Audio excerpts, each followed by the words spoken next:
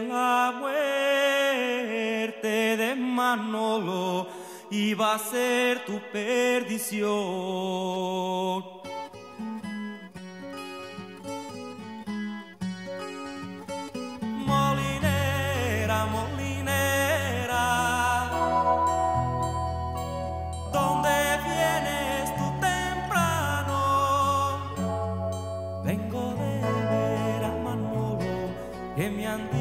Que está malo.